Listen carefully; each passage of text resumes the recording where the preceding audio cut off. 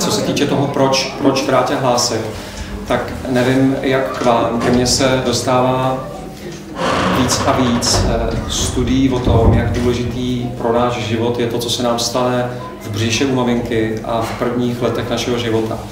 Proto, aby se nám vyvinuly dopaminové dráhy, serotoninové receptory a celý ten mechanismus v našem těle, který eh, zajistí to, že dokážeme žít život bez berliček eh, závislostí.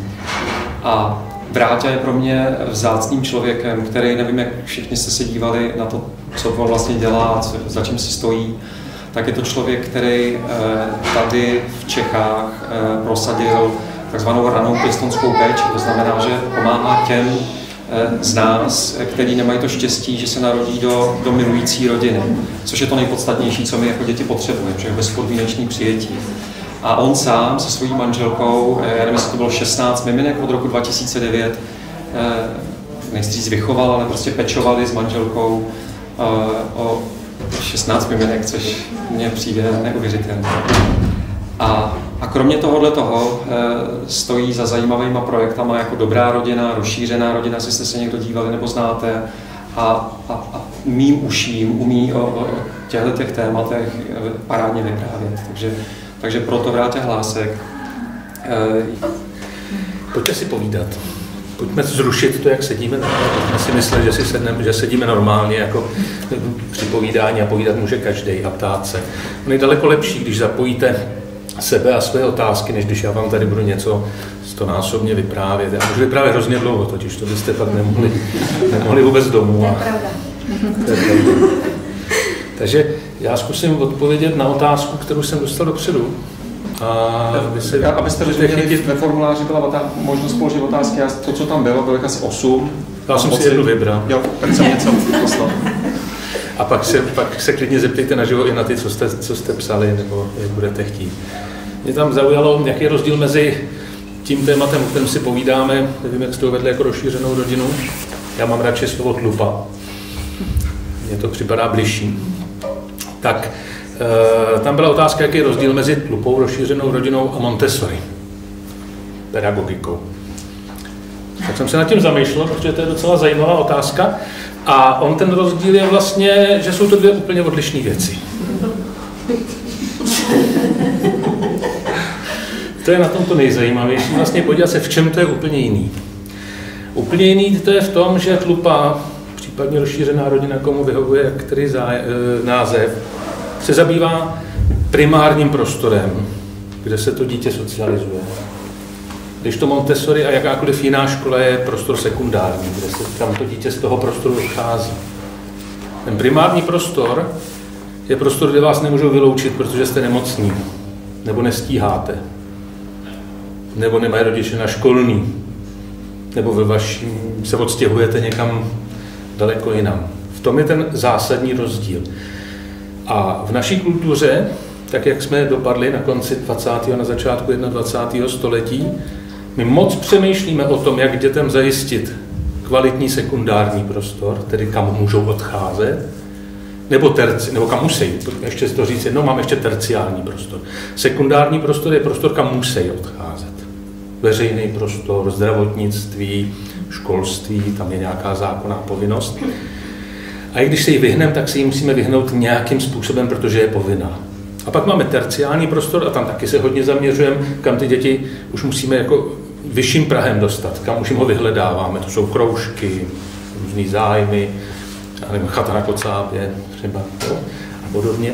Takže to jsou prostory, které nejsou standardní, nejsou ty primární, ani nejsou povinný, ale už je to dobrovolný. A víte, že existuje spousta dětí, kterým rodiče vůbec neuvažují o tom, že kromě sekundárního prostoru by zajišťoval ještě nějaký terciál.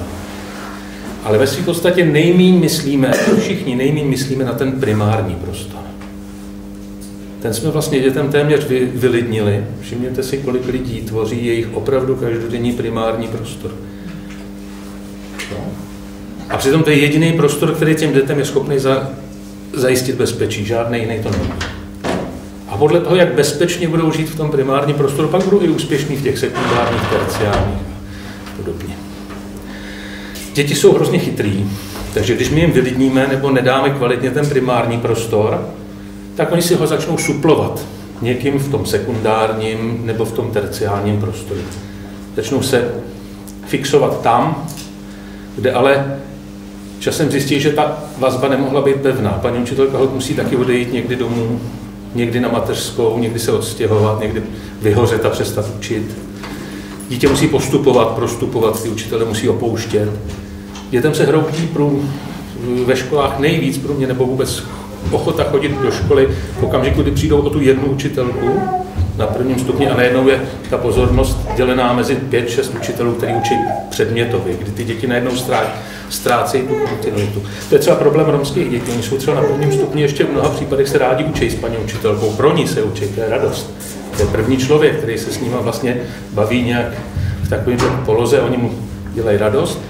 Ale pak najednou má soupeřit s osmi učitelema, který chodí do osmi různých tříd a ty se mezi sebou, vlastně teď už tam tahle ta vazba tam končí a oni najednou nevidí, jak dál. Takže vzdělanostní aspirace, kterými v některých rodinách, například vysokoškolských, máme až přehnané na ty děti, v jiných rodinách mají téměř nulové a ta škola potom soupeří v hlavě toho dítěte, někdy mu nabízí prostor a někdy mu ho nenabízí.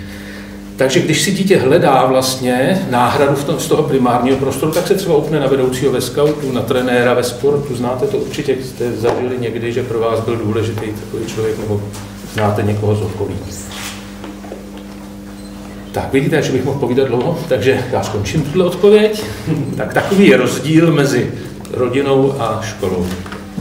Tak takový je rozdíl mezi lupou, rozšířenou rodinou a Montessori pedagogikou. Či Montessori pedagogika. Je to samozřejmě, můžete brát si z toho prvky i do rodiny, bez debat, ale jako škola je to sekundární prostor. Tak a teď kdo se zeptá první? A když se nezeptá, budu vyvolávat.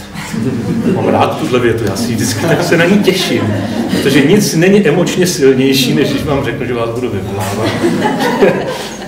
Všichni víte, že vás nemůžu vyvolávat, jo? ale stejně mnoha lidé hrkne a řekne si, to je vzpomínka, že? To je bezpečí vnitřní. Tak koho vyvoláme? Tak je výhoda, když se zeptáte první, jak vám nikdo nemůže ukrást otázku. Jo?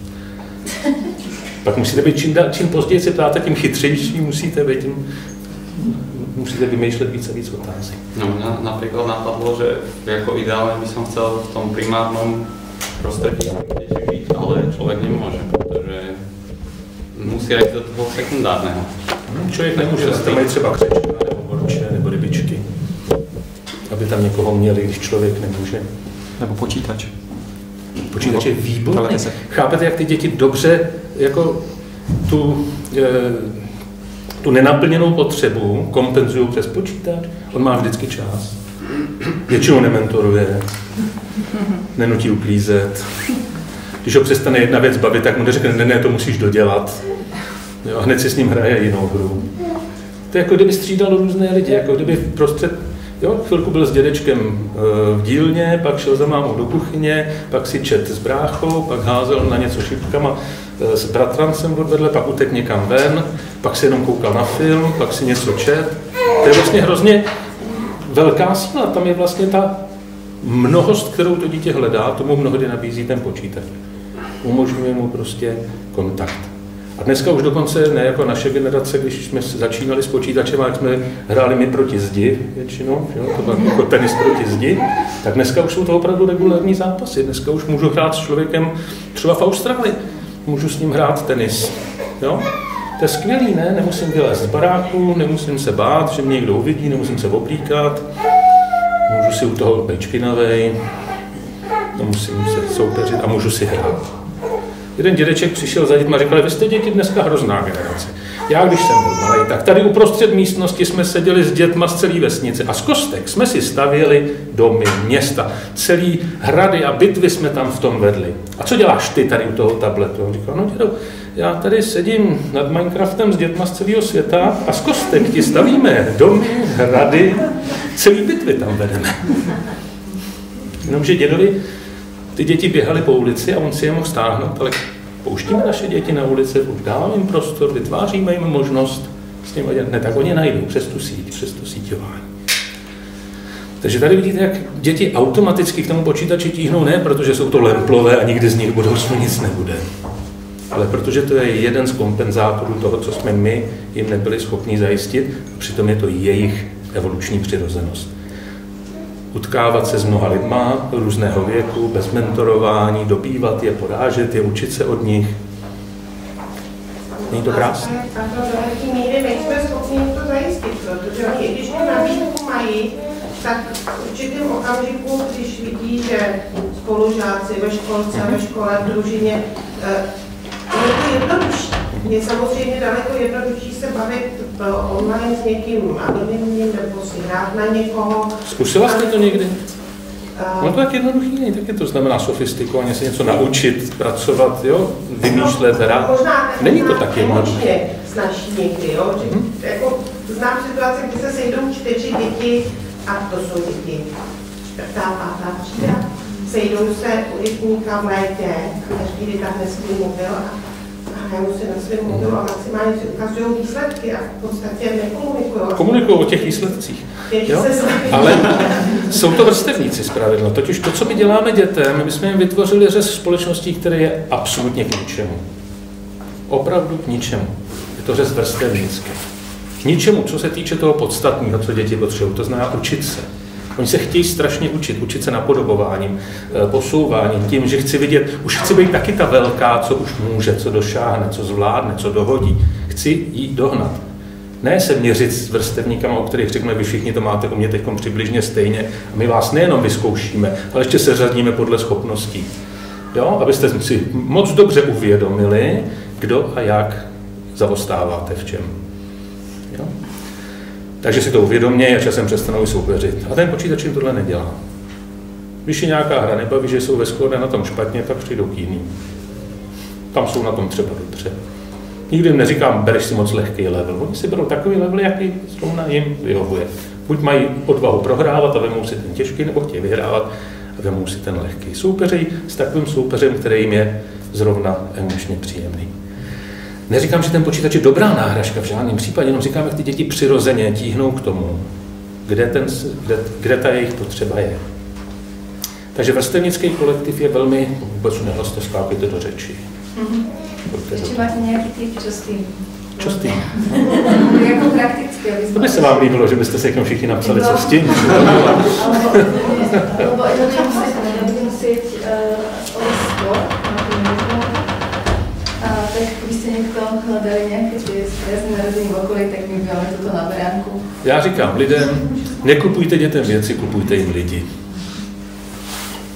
To je daleko podstatnější. Když jim koupíte lidi, budou spokojenější. Když jim koupíte lidi, kupujte jim lidi různého věku, různé velikosti, jo? tak jak mají sbírku. Tak to můžou kompletovat. Jak jim někdy odrostou, tak jim dávejte, přikupujte mladší. Jo? Ty starší budou stárnout, takže mladší je pořád potřeba přikupovat. Když už jim je nerodíme sami, tak jim je musíme prostě někde nakoupit. Můžeme je kupovat za peníze, anebo bartrem, to je taky obchod, takzvaný směnej, jo? Jedna, něco za něco. Já doporučuji barter. Ale jestli má někdo dost peněz, kupování peněz má je taky dobrý. Ja by ma zaujímalo, či to niekto skúšal v svojom okolí vybudovať Mhm. z publika. Správná otázka, jestli jste se už zkoušeli nakupovat lidi. Lebo my, sme, my, my to takto skúšame, rok bývame na beránku a stretli sme sa teda s tým, že uh, väčšinou akoby slušné deti sú väčšinou niekde na krúžkoch až do večera a ty neslušné sú zase tie, o ktoré... Nestejte o neslušný? Moc To je škoda, děti potřebují poznat i neslušný Na děti. tej ulici a Neslušný. tvoria ten, eh, ten priestor, čo, čoho sa my akoby úplne, no trošku sa toho bojíme. Tak ma zaujímalo, že ako, ako majú skúsenosti ostatní s tým. Všimněte si, jak naše rodičovství je o strachu. My se furt bojíme. Bojíme se, že budou děti venku s, ne, s dětma, který se nám nelíbí, že je někdo ukradne, tak je zavřem doma, tam jdou na počítač, tak zase bojíme, že jsou na počítači, jo, jestli tam se jim něco nestane.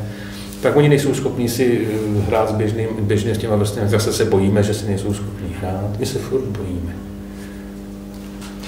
A mě by zajímalo trošku, mi to zní s tím bartrem a nakupováním lidí, aby to nezůstalo v úrovni nějaký metafory, aby jsme tomu rozuměli. To není metafora, to je návod. Napište si všichni, prosím vás, návod. Zkuste říct šetříme, kupujeme. Jako nakupování lidí. No, co to no. znamená? Nakupovat. Si to představte, co, jak se dostáváte k lidem. Že? Musíte s nimi mít nějaký společný zájem, anebo si musíte vyměnit ty zájmy. A můžete se barterovat a můžete se platit finančně. Třeba chůva je člověk koupený za peníze. Všichni máme pocit, že ona je divná, ona koupila dětem chůvu, ona se o ně nechce starat. To není pravda, ona se o ně chce starat, paní i pán, ale chtějí si jaký odpočinout a chtějí se o ně starat v době a chtějí těm dětem nabídnout ještě někoho jiného. Takže dobrý je, že děti znají svoje vrstevníky, pak zpravidla znají vaše vrstevníky, to jsou takový dva řezy, kterými se potkávají. A pak možná, jestli mají aktivní babičky a dědečky, což už mnoho lidí nemá po ruce, ale i kdyby, tak můžou znát jejich vrstevníky, když se sejdou babky a hrajou kanastu třeba. Jo? Takže oni znají řezy těch vrstevníků, ale mezi tím jim chybí poměrně velká škála. Jestliže rodíme děti ve 30, tak kolik jim tam chybí jako variant jejich dospívání? Téměř všechny. Oni vidí jenom sebe jako dítě a své vrstevníky a pak vidí 30 letou babičku a 70 letou babičku. Proč je tohle důležitý vrátit? To, proč je to spektrum? Proč je to, zkuste se, to snad víte, ne? To je jasný, proč je důležitý to spektrum. Děti jsou opičky. Děti vůbec nevědí, jak mají vypadat jako děti. Oni vidějí se, sebe, své vrstevníky neskušený a pak nás jako dospělí. Takže starší sourozenec si nehraje s tím mladším jako dítě. On kopíruje náš přístup, on jim dělá třetího rodiče. Jo? Protože nikdy nezažilo, co to je, no jasně, já říkám, skákejte do řeči, vidíte, vůbec se nehlásí. Jo? Takže on vlastně nikdy neviděl, co to je, když se o něj stará pětiletý dítě, jako o tříletýho, nebo osmiletý, nebo čtrnáctiletý. Nikdy si to nenakoupil, tuhle zkušenost, nikdy ji nenabil. Takže ani empaticky nemůže vědět, jaký by to bylo fajn pro to malé dítě, kdyby on mu poskytl péči pětiletého, osmiletého nebo čtrnáctiletého člověka. Tam mu chybí ta faktická zkušenost toho empatického prožitku. My mu to můžeme vyprávět, ale to bude fajn, když si budete hrát. A nedělej mu tatínka, hraj si s ním jako dítě, co pak to neumíš? Když jsi přece profesionální dítě, když se tak narodilo, ne? Neumí. Neumí, všechno musí okoukat. Jo? Ale ono nemá kde. S ním si nikdo takhle nehrál. On nikdy nezažil ten libý pocit, když furt odmítají ty starší a pak řeknou, tak pojď, prosím tě. A teď se rozteče ty endorfiny a všechno to v tom jako tam zážitek, jo?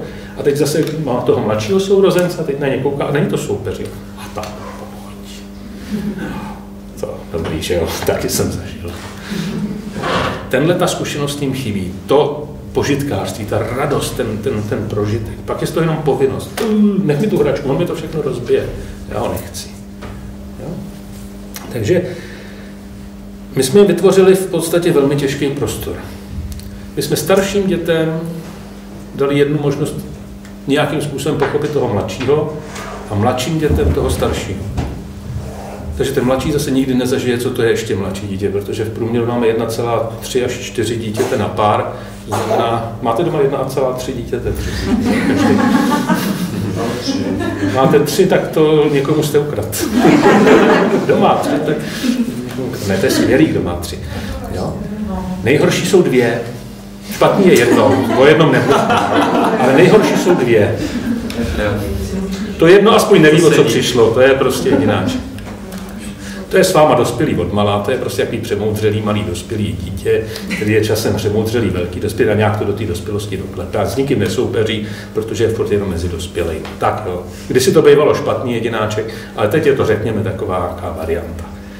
Ale ty dva, to je teda nářez. Takže východisko je mať tři minimálně. Čtyři. Čtyři. Mhm. Čtyři je lepší než tři. A, ale tři lepší než dvě.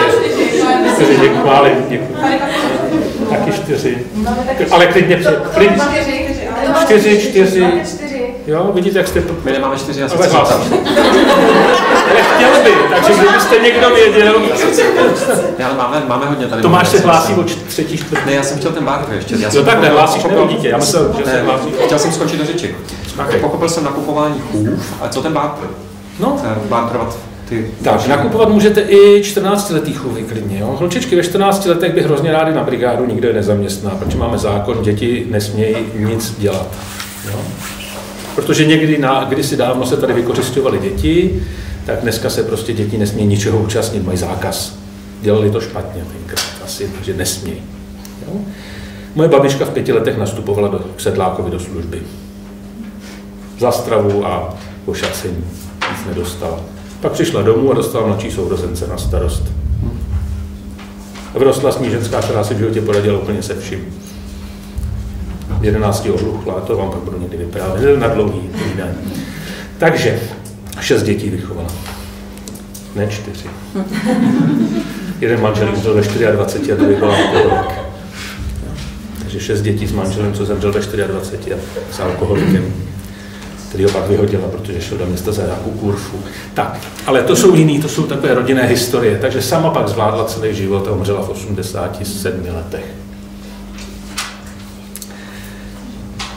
Když děti nenecháme pracovat, tak co budou dělat?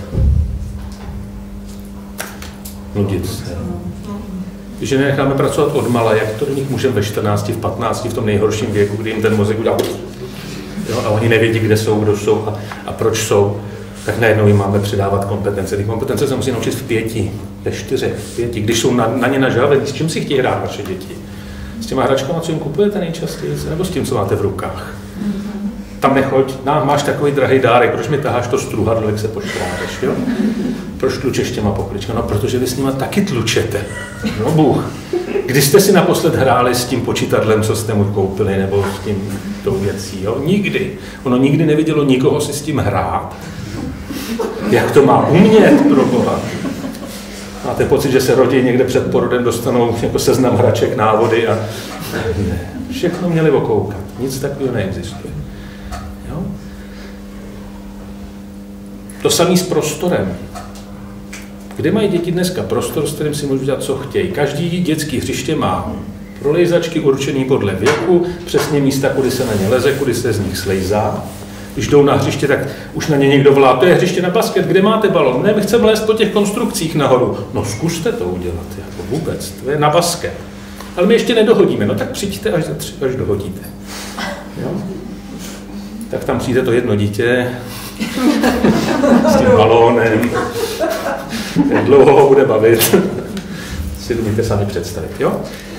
Takže celý ten systém je postavený na tom, že děti ty věci okoukávají. Okoukávají od těch lidí, kteří jsou jim nejblíž, od těch, kterým nejvíc důvěřují. To znamená, snaží se, když tenhle ten prostor nevyužijete, naše děti od pěti let vařejí. Já jsem od pěti do patnácti byl popelář doma. Co jsem dostával za úkoly? Vynes smetí, umej nádobí, vyluxuj špínu, Jo, celý život mi říkají, když se nebudeš učit, bude z tebe popelář, ale já jsem jako popelář začínal. Já jsem se vypracoval z popeláře na někoho, kdo nesnáší domácí práce. Takže radši dělám přednášky a doma musí to, dělat někdo jiný. Jo, taky dobrá motivace. Děti. Přesně, musí. Ne právě, naše děti vařily. My jsme jim dělali podavače, sekundáře. Já jsem pak uměl to nádobí, nebo tu myčku, to dělal, dělal takový ty hnusný věci, já už jsem to uměl. Tak. Já už jsem pokažený, ale je jsme nechtěli zkazit. Do dneška nerady uklízejí, všechny děti nerady uklízejí. My úklidem relaxujeme, děti úklidem ničíme. Jo? My máme pocit, že když to uklidíme, tak máme aspoň na chvilku představu, že kus toho světa máme pod kontrolou. děti vědí, že to nejde zkontrolovat, tak, no, tak to neřeší. Vědí, že to je zbytečný. Děti potřebují eh, s tím světem se seznámit a ve světě existuje základní pravidlo entropie a základní pravidlo chaosu a základní pravidlo, že věci nechtějí mít energii, zvlášť tu polohovou, tíhovou, znáte to, jo? Každá věc chce být na podlaze. Žádná z nich dobrovolně nejde na poličku. Vždycky musíte hodně dát energie do toho, ale z poličky skočí klidně sama. Že? Samo se a ono se a samo se fungují zaručeně. Žádná sklenička nechce být ze střepů udělaná jako sklenička, každá chce časem být jako střepy. Nechce být tak zbytečně organizovaná. To ty věci prostě vědí, oni to tak dělají, takže takhle ten svět funguje. Děti to vědí a my do nich tlučem, že je pravý opak pravdy. Jo? Nejvíc to uvidíte na zahrádce. Máte někdo zahrádku určitě, že jo? lidi jsou nenapravitelní, že máte zahrádku. No, a začnete tu zahrádku, tak představte si, jak by to bylo krásné, kdyby ten svět fungoval podle toho, jak my to těm dětem štěpujeme. Zahrádka je dítě. Jo? My k ní přijdeme a řekneme, tak milá zahrádka, je to hrozně jednoduchý princip. Tady bude cestička, to znamená, nic na ní neporoste. Jo? Tady poroste jenom zelený, tady budou jahody a budou každý rok čerství a budou sladký. Jo? Tady poroste to, tady bude zase něco, tady stromeček, tam rybníček, nebude se zakalovat a bude to pěkný. Tak už jsem ti to ukázala zahrádku a přijdu se za rok podívat, jak to zvládáš. Přijďte se na takovou zahrádku za rok podívat, ona vám ukáže přesně, jak chce vypadat zahrádka, jak vypadá princip. A děti jsou příroda, víte to? Všimli jste si, děti jsou příroda. Oni dost víc korespondují s tou zahrádkou, než s naší představou o tom, jak by ta zahrádka měla vypadat. To znamená, oni se chovají daleko přírodnějc, než je to odnaučíme. A pak na ně křičíme, říkáme, proč nejsi trošku spontánní, proč nemáš dobrou intuici, proč se špatně rozhoduješ, proč jako jsi vybral tak divného partnera, jo, teď to je přece nesmysl. Jsme ti všechno dali, teď jsme ti dali návody. Nefunguje. No to se připravte, že vám děti budou přivádět partnery, to bude zážitek. Ty. To budou chudáci děti taky dvojče, ze dvou nejšťastěji. To vás víc zajímalo, proč jsou dvě špatně, já vám to klidně řeknu. No, to se musíte ptát. Všimněte si, jak dvě děti v mnoha případech vypadají, jako když každý vyrůstalo v jiné rodině. Všimli jste si to někdy, že jako máte sourozence, který je úplně jiný než vy, když jste ze dvou, nebo že někdy vidíte, ty dvě děti jsou vlastně v dospělosti, protože se tak jako od sebe hodně, hodně mnohdy odtahují. Ono je to jednoduchý. První dítě se narodí a musí s náma nějak přežít. Takže hledá strategii, co na ty rodiče platí. A nějakou si najde. Buď je to hodně hodný dítě, takový to, co vyhovuje, protože když je maminka spokojený, tatínek spokojený, tak já můžu být jaký spokojený. Je to dobrý kšeft. Jo? Sice nepřemýšlím o tom, jestli jsem primárně já spokojený, ale když už spokojím ty dva, tak oni mi říkají, že jsi hodný. Nebo to může být rebelská strategie. Budu si prostě dělat po svým ty věci. Nějak si to tam poplátnu a rodiče jdou negativní pozornost, mi taky dávají pozornost, protože děti stojí o pozornost. Je jedno, jestli pozitivní nebo negativní. Důležité, aby nebyla žádná, takže nějaká pozornost. A je to v pořádku.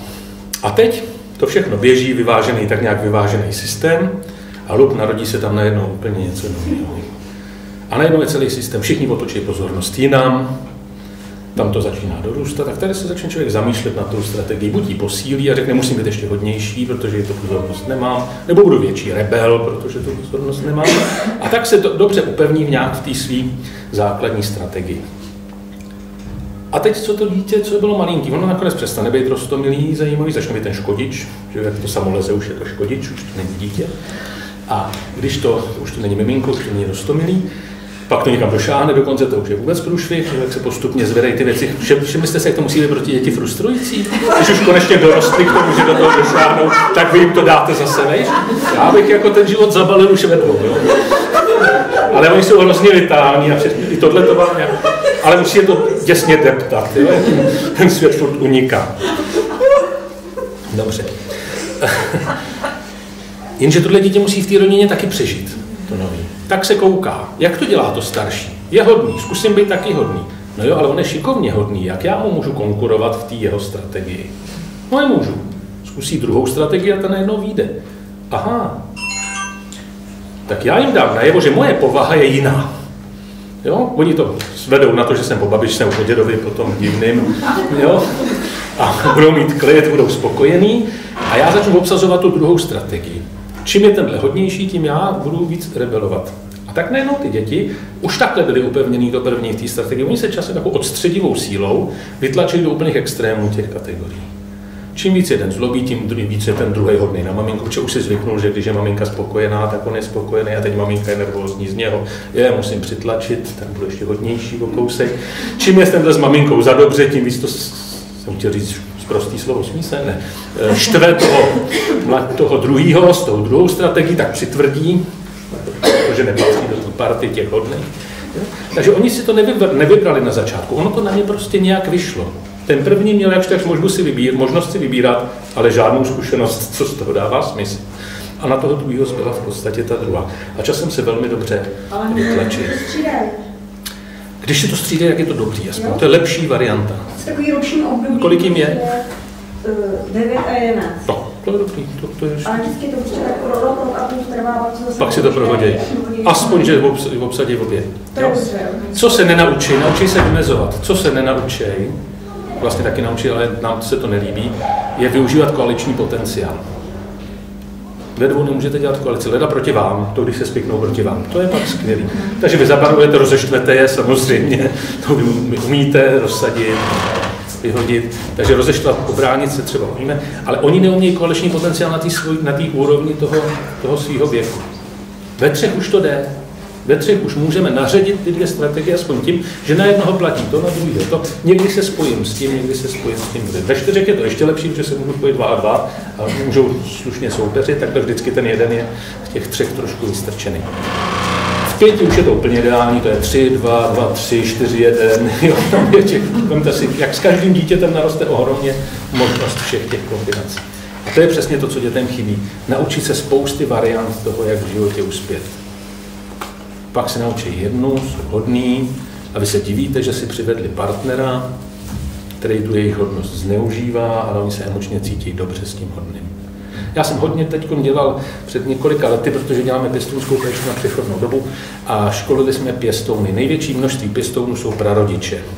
Když jim vypadla maminka, z maminky vypadlo miminko, ale maminka se někde ztratila.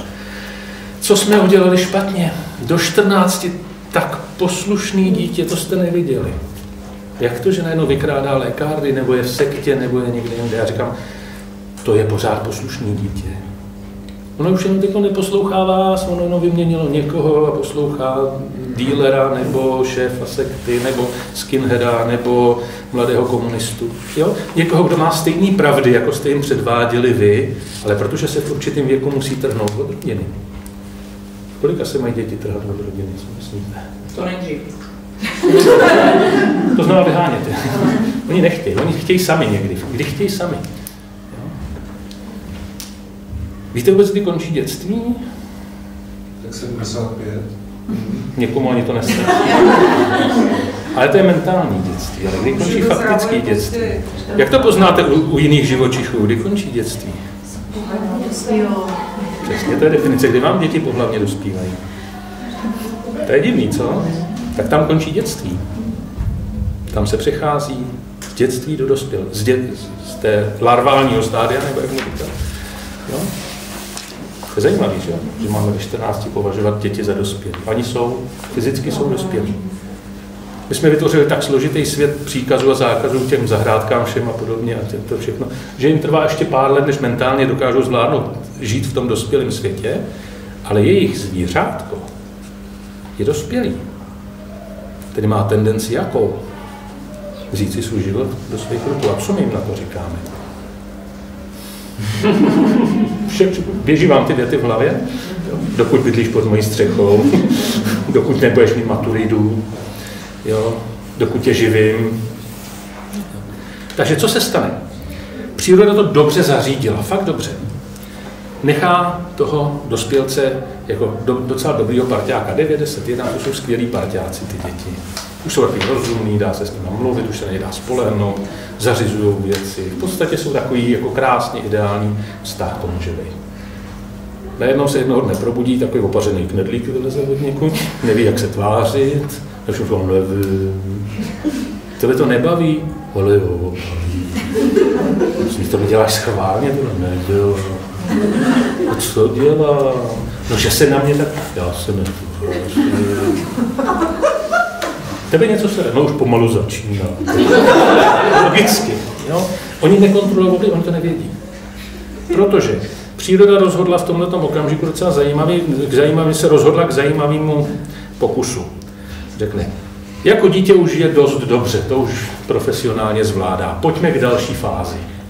To je ta krásná fáze těch 9, 10, 11, kdy to fakt už dobře zvládá. Samoobsluha, všechny věci by měly být úplně zvládnutý.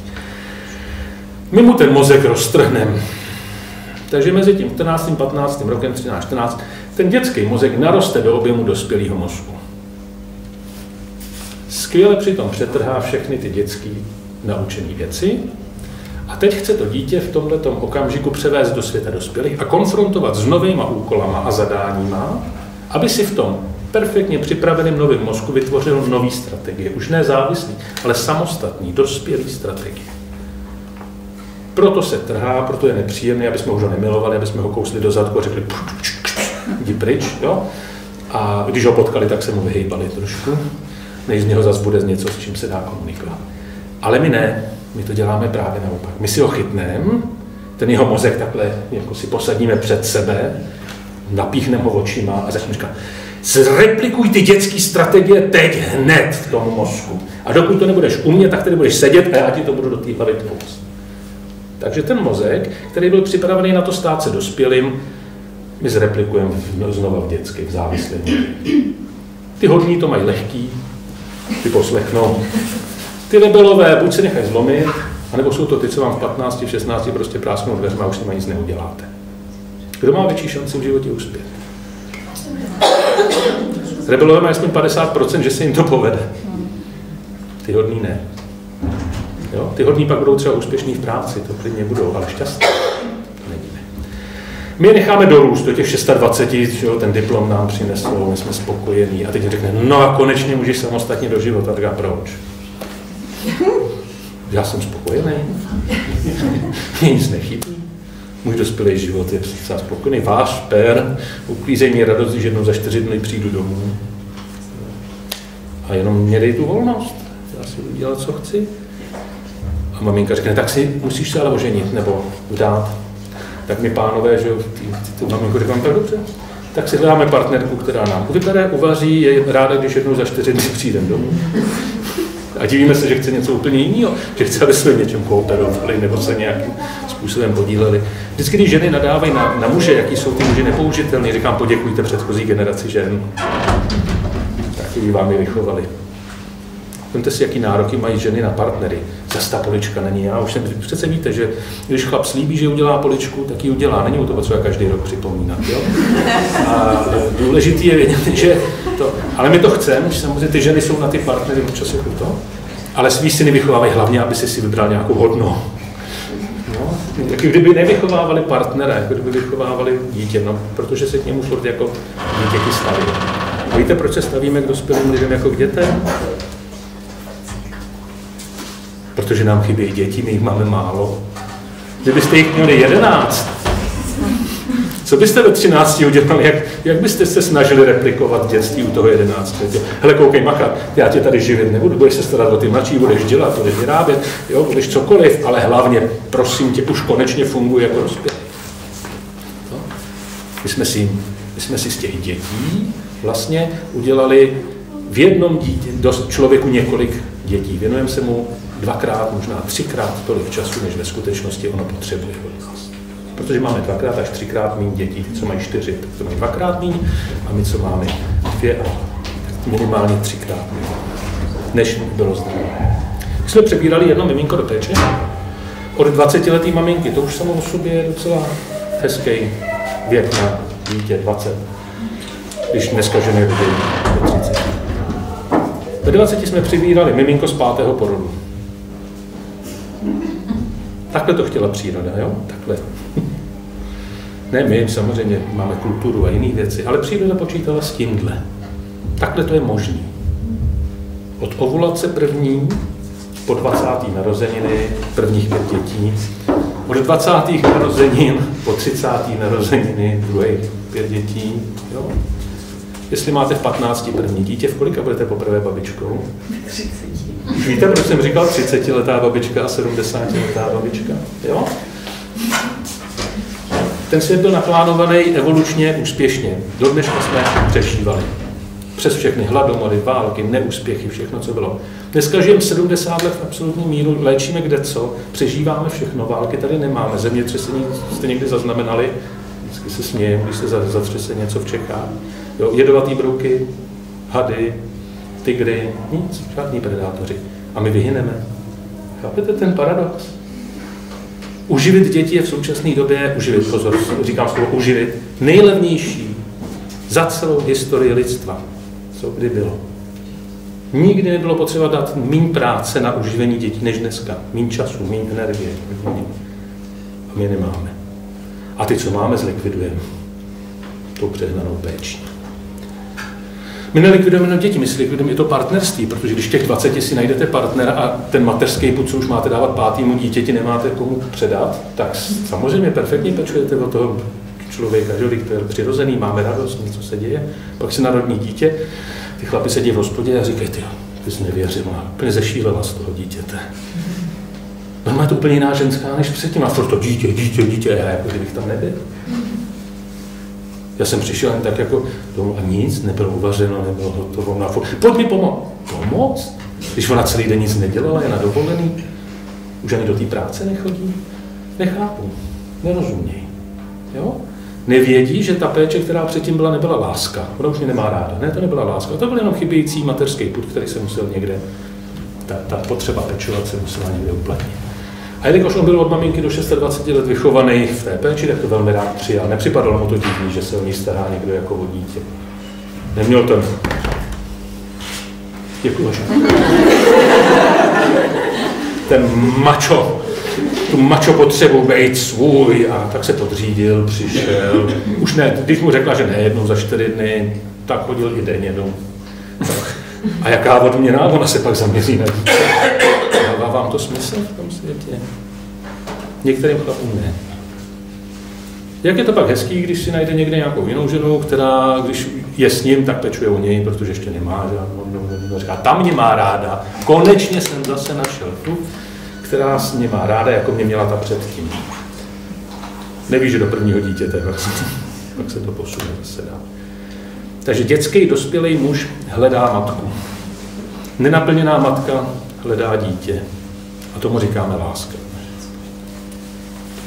Tomu, že si vykompenzujeme tyhle ty nedostatky. Děti to mnohdy úplně rozbijou. Kdokoliv. Tady možná ještě byla ta otázka, nevím, jestli jsi odpověděl, když musíš, já jsem to slyšel tak, že jako když musíš odejít do toho sekundárního prostoru, co teda bys měl jako za radu? Eh, ten, ten úplně ten začátek. Takhle byla ta otázka? Mm, tak nějak jsem to jako... Když musí se odejít do sekundárního no, takový ty, ty lidi, co chodí do toho zaměstnání, prostě mm. od pondělí do pátku prostě nejsou ty dátové. Tak jako pro ně... No my moc dobře víme, proč ty dátové nejsou, že jo? Jsme teď říkali, proč nebejt doma. Proč tam chodíte jenom na tu chvíli. Nejlépe, když děti už spějí. Když se chodili domů odpočívat, to byla zóna klidu, dítětem je to zóna klidu, ne, to je prostě všechno se změnilo.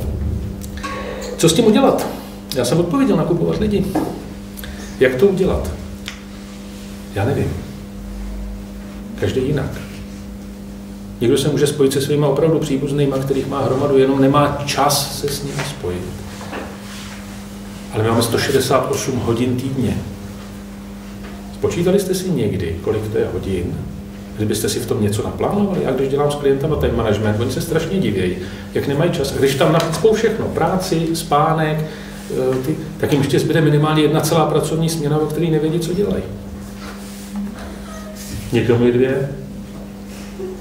Pořád je tam hrozně moc hodin. Ale my s tím časem neumíme vůbec pracovat. Nikdo nás neučil, že i náš vlastní čas je něco, s čím bychom měli normálně zacházet jako s hodnotou, s komoditou. Takže spoustu toho času někde nějak si řekneme, co bychom dělat nebudeme a začneme a nezačneme a vycouváme a zkusíme a neuděláme, nedoděláme, rozděláme. Místo, aby jsme si řekli, teď se budu dvě hodiny něčemu soustavně věnovat, udělám si z toho, co můžu a za dvě hodiny se zase budu věnovat něčemu jinému. Je to divný, ale tenhle návyk nás nikdo nenaučil. Nenaučil nás to proto, že jako nás učili organizovat školní čas, pak kroužky a my jsme pak měli radost, že jsme mohli konečně nic nedělat, žádnou organizaci nemít.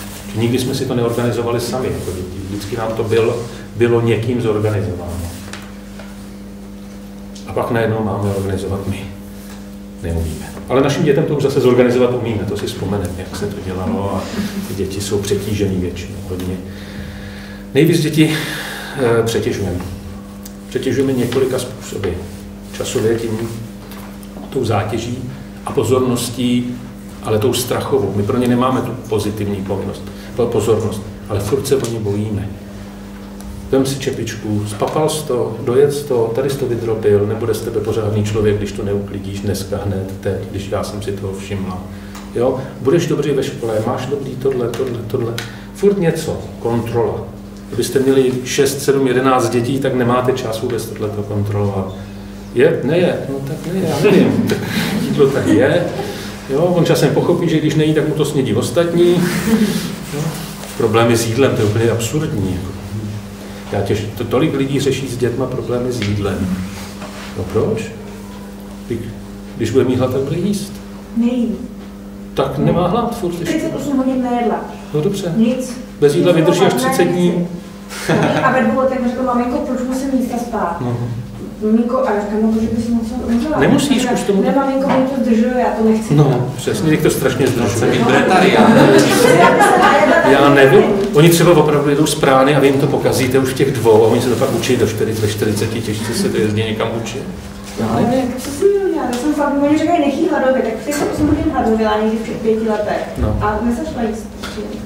Když říkám, bez jídla vydrží 30 dní, co je toho 48? Taky už musíte říct, že napravujete stav, kdy ona už tomu jídlo má odpor. Přesto všechno předchozí, jo, to, je, to není ta přirozená cesta. Nejlepší je to začít přirozeně. Víte, proč se sešli v neděli k obědu všichni včas, když táta zavelel a těch 18 dětí sedělo u toho stolu přesně ve 12? Víte proč?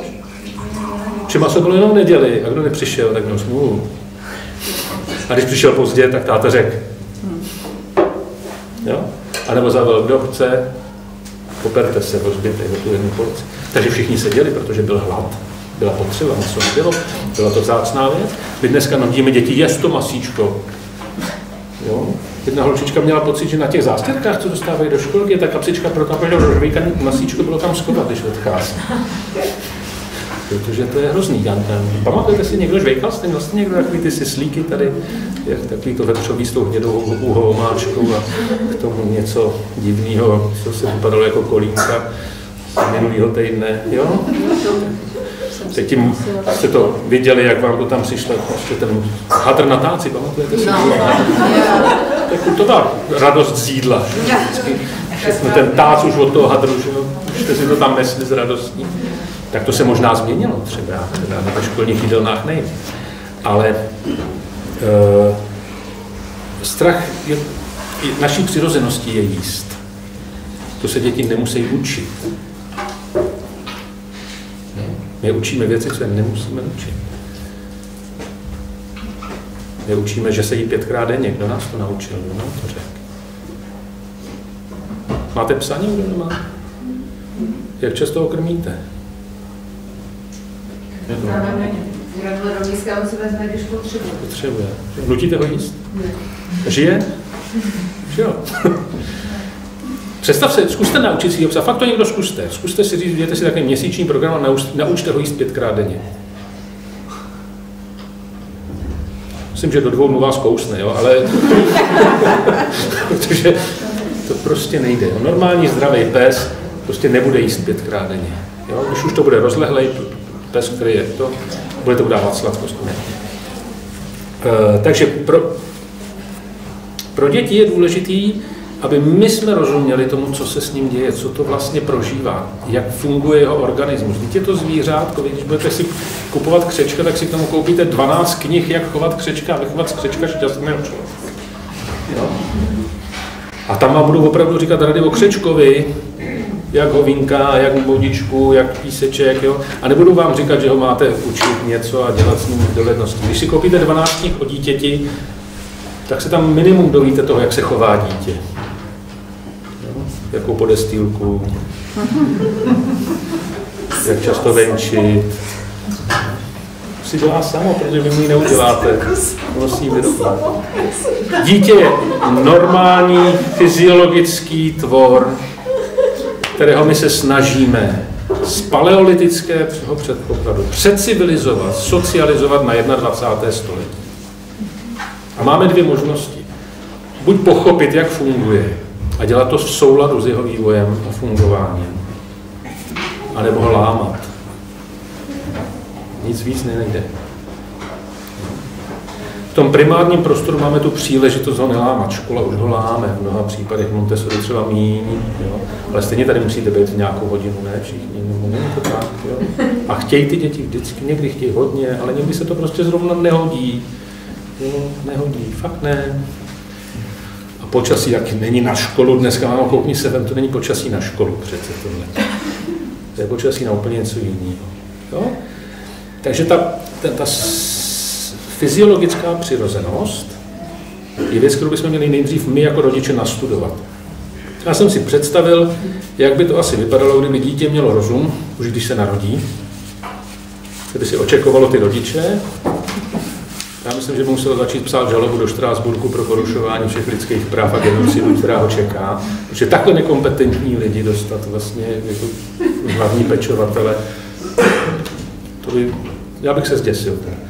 Mnoho maminek drží novorozený dítě poprvé v životě, až když se ho v 35 porodí. Do té doby ho v životě neměla v ruce. Je, nedávejte mi, to je to křehký, asi to... A nebo neměla možnost, dokonce ho nepotkala nikde, nebylo. A přesto mu v porodnici takhle podařku, jo, děte, to zvládnete. Ano, zvládnete to, kdyby od malička, od pěti let, to rodičovství se učí ve čtyřech, v pěti letech se začíná učit rodičovství. Tak, jak jsme si to říkali. Tím, že se o mě starají starší, já se starám o mladší, tím, že se s nima No.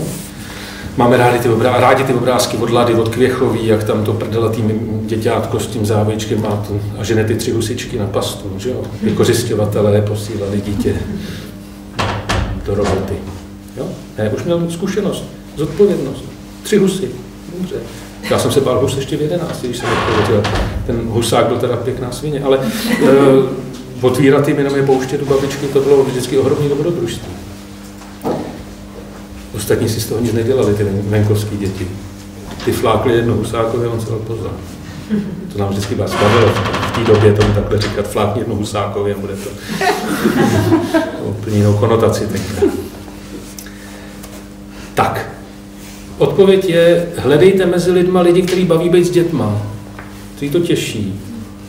A s nimi bartulujte svůj volný čas, který budete pracovat nebo si dělat nějakou svoji věc, co zase těší vás, abyste nabrali síly, udělali svoji vlastní socializaci, prožili, zvedli si endorfíny, zažili hezký sex, já nevím, co všechno k tomu ještě potřebuje člověk, jo? ale abyste byli chvíli bez těch dětí, ty děti se otrkali s někým jiným a pak vás zase rádi viděli. A vy je teda. Jo? Ne s tím utrhným, když já musím, ne, s tou radostí, když vlastně můžu.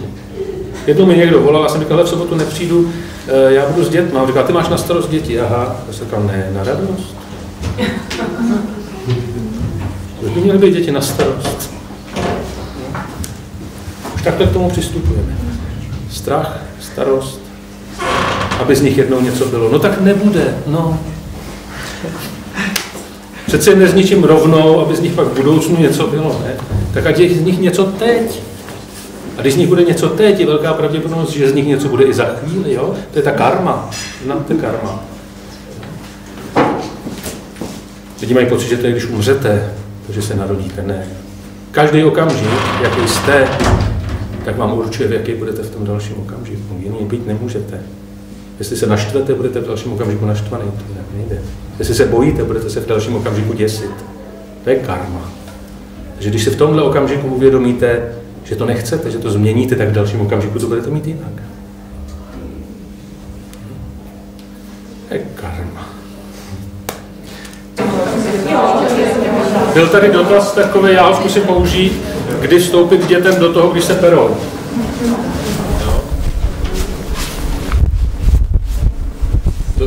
Při první kapce krve, nebo? Když berou nože. Oni se musí otrkat. Vemte si štěňata, co všechno si provádí navzájem. Jo? A všem jsou toho furt rostomilí, koukáme, hele, jak oni to vádějí. Jo? My nemůžeme slyšet ty naše děti, jak na sebe řvou, jak jsou agresivní. Jsou děti agresivní od malička, nebo se to v nich rodí potom někdy? Jak to vidíte? Malička. Narodí se už agresivní? Velmi. Už v děloze jsou agresivní dělo zase berou své, jsou-li tam dvě, tak jedno, jo, druhý, pozice, síla, víc, víc prostoru. Lžou děti, protože to je přirozený, nebo protože jsou hajzlici?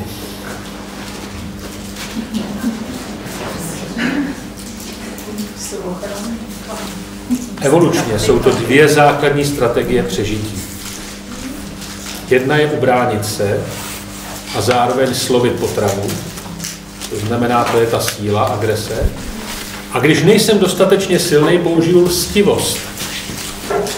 Tedy prodloužím svoji sílu, znásobím ji lstivostí. Takže přijdete na pískoviště, dítě chce kyblíček, co má jiný dítě. První pokus vypadá, jdu poměřit sílu, čapne kyblík a začne mu horvát z ruky. Je to normální situace. Zažili jste? Dítě bude, teď ho chci já. Prostě, to je kyblík, chci ho já. Druhý chlapeček říká, ne, nedá. Teď záleží o tom, kdo je silnější. Jeden z nich nakonec ten kyblík drží, co udělá ten druhý? Buď ho bude praštit, ale kdybychom řekli, že už boj mají vybojovaný, co udělá ten druhý? Brečí. Brečí. Proč brečí? Volá matku. Volá matku. Proč volá matku?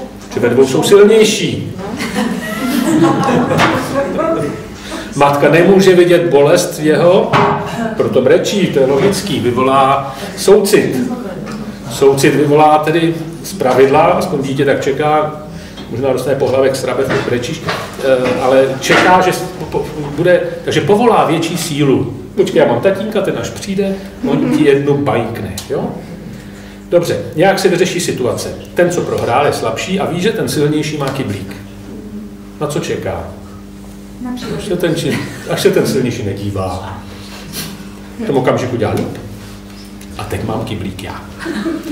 Když je hodně chytrý a mazeň, tak se s ním zdekuje někam jinam. Ani si s ním nehraje, ale drží kyblík. Jo? Má splněno.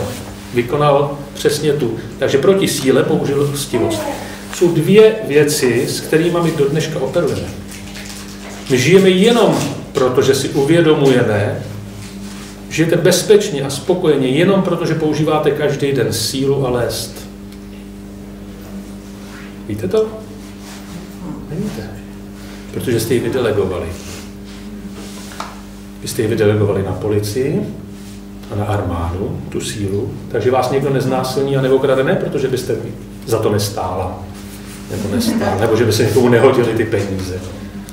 Ale protože ví, že spustí, že vy půjdete a zavoláte tatínka v uniformě ten zakročí. Jo?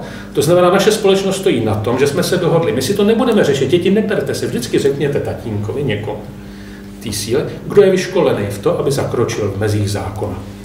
Takže my jsme si nastavili silové složky v rámci z toho systému, aby jsme pod jejich kuratelou mohli mezi sebou chodit a nebát se si tady položit telefon nebo jo, jít sama po ulici, přestože jsem krásná říjná samička a každý samec by měl usilovat o to, aby měl příležitost se se mnou pářit, protože to je přirozený. Že se tomu říká přirození taky, no? Je to přirozený. Všechno. Ale on to neudělá, protože ví, že mu to nestojí za to, aby pak jako seděl ve vězení nebo byl někde popotahovaný, nebo že by to řekli manželce možná doma, to by bylo horší. To by radši seděl v tom vězení třeba. Nebo, no? Takže prostě je tam nějaká síla, který se bojí. Druhá věc je lstivost. Co to je lstivost? Lstivost je vlastně vtělená v celý soudnictví.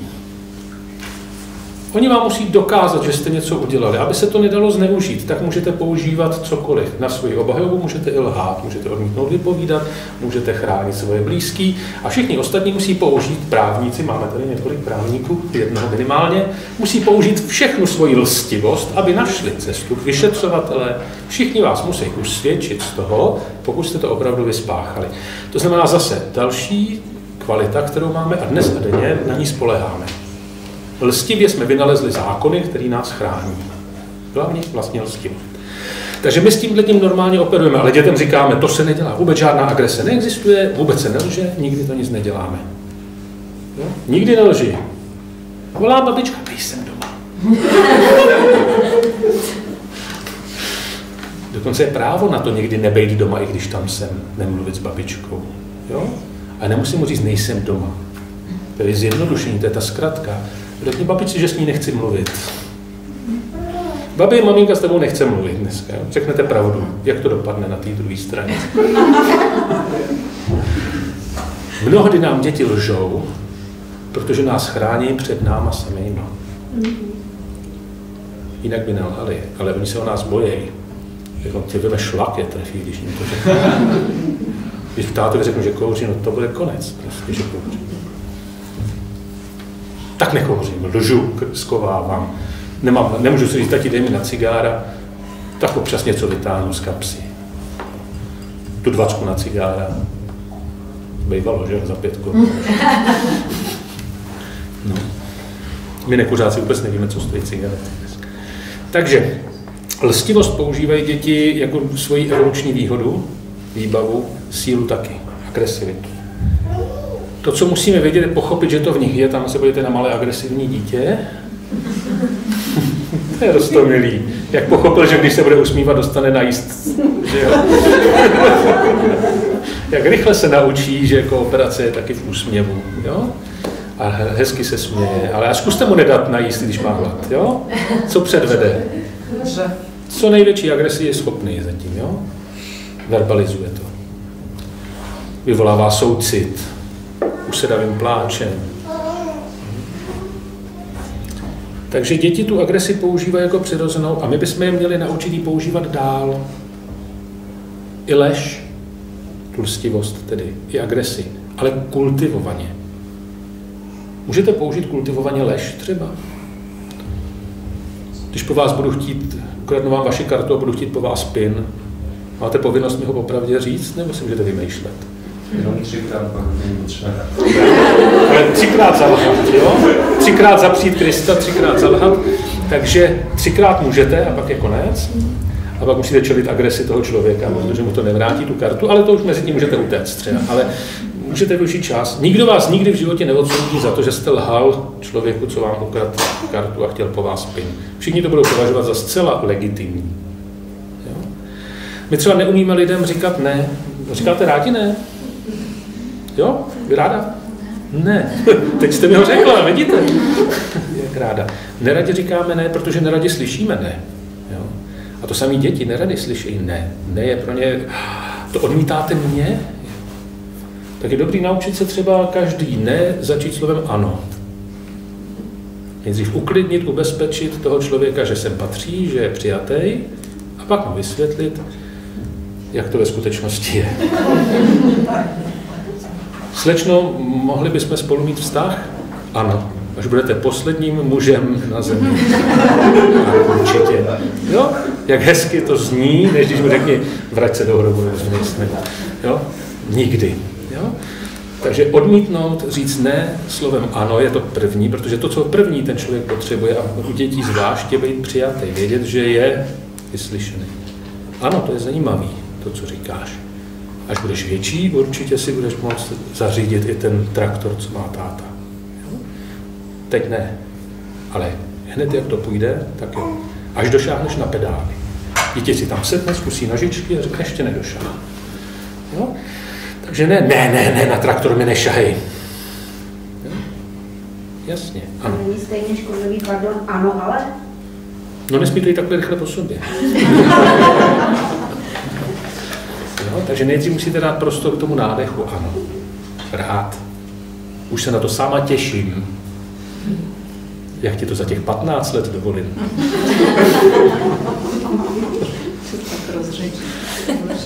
Někdy je to možné po, po, opravdu poměřit tím úkolem. Chtěl bych sám rozhodovat, chtěl bych sám chodit nakupovat do obchodu, už bych tam chtěl jít sám.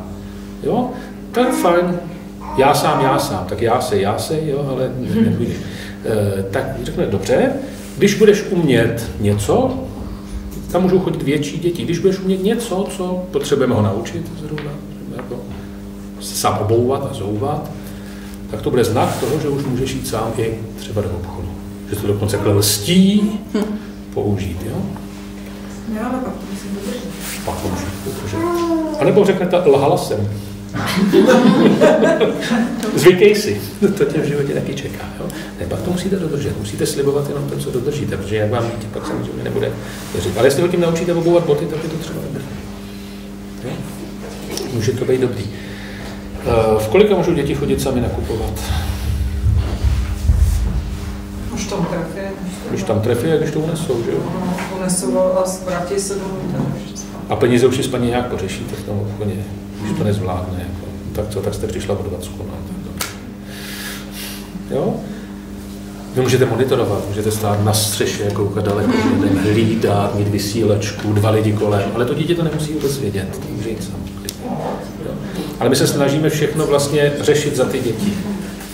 Hlídat je. Takže vraťme se k té rvačce. Děti se perou úplně přirozeně, protože ta agresivita je přirozená součást a učí se ji kultivovat. A učí se zjistit, jaký následky má, když někomu ublíží, co to přináší nejen v tom okamžiku, že my zakročíme a odtáhneme, ale jak si naruší vztahy s tím druhým člověkem. Co si může dovolit. Samozřejmě, když to bude tak, že jeden bude furt mlátit toho druhého, tak tam je možný potom přemýšlet o tom, jak posílit odvahu toho druhého, aby se naučil bránit. Ale i to je důležité vědět, protože pak máte doma dítě, který je připravený jako oběť šikany a zároveň druhý, který je připravený šikanovat. A nad oběma se musíte nějakým způsobem zamyslet. Jo? Když jim to zrušíte hned na začátku, tuhle informace se vlastně nemůžete dozvědět. Nikdy. Takže nemůžete, pak když vám řekne, moje dítě někoho šikanuje, nikdy. Jo? To jste si na mě vymyslela, vy šikanujete mě, paní učitelko. Jo? Ne. Je to tak, někdy jsou to opravdu i naše děti, co někoho šikanují. Vždycky jsou to děti někoho. Dejte se, pojdejme. Ať z toho zase není pojď. No? Já myslím, že jo. Co, co jak, jak z té šlamastiky ne teda? Šlamastika. já nevím, Honza, že z toho má, de, Tomáš, já, já, že z toho má depresi. No, no. Povídání, máte z toho depresi? Já tak nějak jako... Jo, to nefurt žertuju, aby to bylo veselý. No tak ne, tak budeme se přijít domů začít dělat další dítě, že jo, třeba no, pátý, jako to, A z toho máte depresi? ne. Tak vyměňte partnera v tom případě. ne, ale tak s čím odejdu teď, jako. Ne. Takhle, já se chci zeptat možná, že... Můžete ty děti sebrat sousedům. Jo, nemusíte je vyrobit. Tři by bylo fajn, jo. Tři je opravdu poprvé, kdy máte možnost říct, že ta reprodukce jako ještě poběží v dalších generacích, nebo je šance. Chcete mít 95% šanci, že budete mít vnoučata, potřebujete čtyři děti. Teprve čtvrtý dítě vám zaručuje šanci blízkou 100% toho, že se dožijete vlastních vnoučat. Ne, že si jich dožijete, oni je mají pozdě, ale že budou. To už pak jedno, ne? Z evolučního hlediska tolik ne pro vás, jo. jo Mám to může být úplně šumá. Pokud je člověk po mně potopa, tak je to jedno. Tak můžu se tady se teda po těch všech informací, co jsme si tady řekli, hmm. vychovat teda dneska jako šťastný a spokojený dospělý? Dvě děti, když jsou, když jsou dvě. Když jsou jenom dvě? No. Já si myslím, že je možné se o to pokusit. Nevím, jestli to jde, protože těch experimentů, jak to udělat, je zatím málo v praxi. Jo? Takže nevíme, jestli se to dá. Ale dá se o to pokusit. A jedna z možností je opravdu, já nevím, třeba romský děti rostou šťastně. Dlouhou dobu. To vidíte opravdu šťastní děti, oni nic nemají, vy je svezete autem, mi řeknou, jedu poprvé v autě, je mu 11 třeba, jo.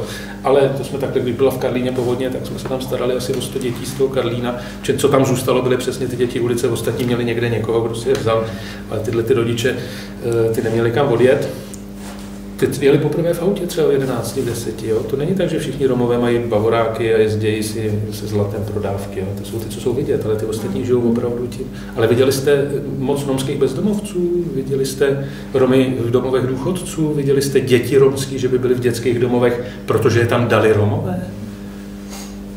Ne, většinou se nám nelíbí, že běhají špinaví a nemají hotový úkoly, tak je nějaká paní veme a odvede je tam do toho dětského domova. Romové jsou připraveni se o sebe starat. Od nich bychom se třeba tohle to mohli inspirovat. Když už všechny ostatní věci nám třeba nevyhovují, tak třeba zrovna tohle ten způsob, jak žijou v tom rodinném klanu, proč jich máte 20 v té garzonce vedle vás? Protože neodmítnou příbuzný, který přijedou. Neřeknou, hele, nejezdí k nám Maruš, nám se to nehodí. Jako. Jo? Nejezdí k nám ještě pět let nejméně. Malujeme něco podobného. Ne, prostě tam se zazvoní u dveří a prostě se vejde, jde se. Každý, jo. To je ještě takový to pravidlo, co platí třeba v Arábii a jinde host do domu, Bůh do domu, to znamená, nemůžou odmítnout, je to prostě proti bonton. A v rodině už tuplem. Jo. Například s tím se vážou i různé věci jako krevní msta. Víte, jak si se nejlíp ubráníte krevní mstě? Když byste někdy způsobili něco v nějakých těch městech, kde ta krevní msta funguje, tak jděte na návštěvu někomu, kdo se vám má mstít a bydlete u něj, on to nesmí udělat doma pod svojí střechou. Jo? Takže tam jste bezpeční, to je zajímavý. Jo? On vás musí hostit, musí se o vás starat a jakmile vyjdete za zahradu, to je zajímavé. To je mentalita, kterou si neumíme představit. My, když se mstíme, tak všude. Tak Některý ctějí pravidla, které jsou nám nepochopitelné, ale nejsou fyziologický. Co fyziologický je, prostě to, co to dítě potřebuje, to je ta skupina dětí. To znamená, sežeňte mu ty děti, nemusíte mu je vyrobit za každou cenu. No. E, nabídněte jim, ať u vás spějí, ať oni spějí u nich, ať jsou co nejčastěji pohromadě, jezděte s nimi na výlety, ale ne po každý za jiným a zkuste jim vytvořit nějakou širší skupinu. A zkuste najít děti různého věku, ne ty vrstevníky, těch oni už mají mnohdy až nad hlavu. Jo. Oni vám řeknou, že už se s nimi nechtějí hrát, protože furt musí s těma samýma, to je nuda. Jo? Někdy je to prostě lepší, ten počítač se k ním chová jako dospělej, ne jako vrstevník třeba. Víte, že se děti koukají, jsem to nechápal, až jsem to pochopil, na YouTube se kouká 100 tisíc, 200 tisíc dětí na dva, který hrajou hru Minecraft. A oni toho sedí a poslouchají hlášky a dívají se a sledují, co oni tam dělají. Říkám, proč koukáš na to, proč taky nehraješ? Než jsem si uvědomil, jak dlouho my jsme koukali na kluky, co hrajou fotbal nebo něco, nebo do dneška na Mariáš, kolik je kibiců nad Mariášníkami, jak koukají, jak někdo hraje hru, jo, a kecají jim do toho, nebo poslouchají ty hlášky. My se učíme tím koukáním. My získáváme sociální dovednosti, slovní zásobu, oni vám pak přinesou to slovo, vám se většinou nelíbí. Jo? A to je všecko. Takže oni si vlastně i tam nacházejí přes takovouhle divnou věc, přes streamování toho, jak někdo jiný hraje počítačovou hru, si nacházejí zase ten přirozený prostor, v kterém se normálně by měli učit v reálu, kdyby jsme jim v reálu nechali nějaký starší děti, který by si hráli a oni se na ně mohli aspoň koukat, když už nic jiného. Občas říct, můžu taky, nesmíš. Jo? Hm? Mám vymezenou pozici. Až budu velký, taky budu mazák. Jo? Pak ho vezmou a říká, je to pocit. Můžu, mohl jsem si, na konci jsem si mohl taky střelit nebo kopnout. Jo? A ten velký mi chytal. A pak na mě kopal a dal mi gól. A já jsem mu dal gól. Jo, skvělý. Není, neexistuje, nemají. Ale to třeba v scout hodně, si myslím, že tam, jak jsou ty různý mm-hmm. dětí, dětí pohromadě, tak... Určitě, ale scout je zase, když máte dítě nemocný, tak to nesupluje. Jo? Prostě není to ten primární bezpečný prostor. Oni si to tam hledají. nemocní děti, tak takhle nevezmu asi ani ty ostatní děti. Vezmou. Vezmou. No když budete mít 11 členů rodinu, jeden vám onemocní, tak je nevyženete jednoho z nich nebo druhý. Jo, a takový ty jak jste říkal, že si máme hledat jeden děti z okolí. A... Tak, vezmou, protože nic jiného nezbyde. Když budete dohodnutí, že hlídáte všech 11, tak je budete hlídat i s tím nemocným. Jo? Budou ty ostatní maminky naše? Budou, protože příště budou zase vědět, že, že jejich dítě bude nemocný, tak je taky bude někdo hlídat. Jo? To je o té reciproci, o tom, že si navzájem tyhle ty věci dáte dohromady. A pokud ne, tak jste si vybrali lidi, s kterými to nejde. Jo? je, je opravdu je potřeba se neobvinovat navzájem. Když se něco vašemu dítěti stane, když ho někdo hlídá, to se mu nestalo, protože ho hlídal někdo jiný. Jo? To se mu stalo, protože dělal věc, kterou se mu to stalo. Kdybyste ho taky nechali prostě stejně hrát, jo? taky se vám něco stalo, i vám se něco stalo, když jste nic vlastně nedělali. Jo? Kolikrát člověk upadne, když jde po chodníku, protože špatně se rozlíne, šlápne na něco. No to není věc, že by se něco stalo. Takže jde o to nebát se. To už říkal Masaryk, jo? nebát se. Dneska to platí ještě víc než za jeho života. No jo, ale... teda máte zkušenost, že, že to opravdu funguje, že ty lidi si takhle navzájem vídají třeba tu spoustu těch nemocných dětí a funguje to? Spoustu nemocných dětí si nikdo navzájem no, to, to, to nikdo nedělá. Tak nakonec si to asi přehlení všechny, že? My jsme samozřejmě dělávali... ve školce, hmm. když jsem do školky přinesl... Ale školka je instituce. A to zakašlalo. Přesně tak to je. Proto říkám, že sekundární prostor není bezpečný, protože v sekundárním prostoru není ta bezpečnost vyjednaná, není v podstatě přirozená.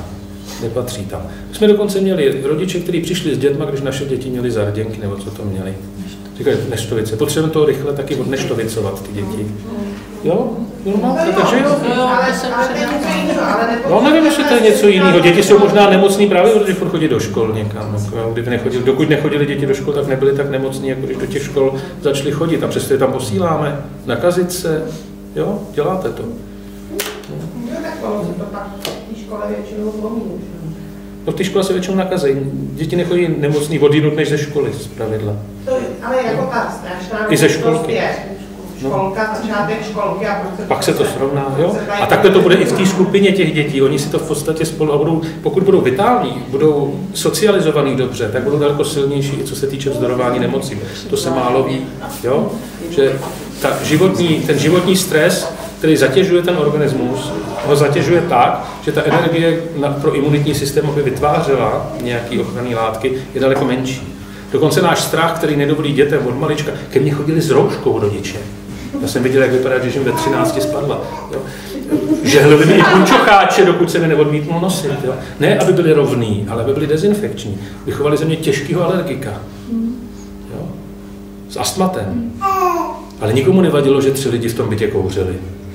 Mm-hmm. Jsem, když jsem šel do obýváku, já jsem nevěděl, kdo tam sedí, to, to byly takový ty obýváky. Jsem se musel všechno je doma přes tu mlhu jo, toho kouře.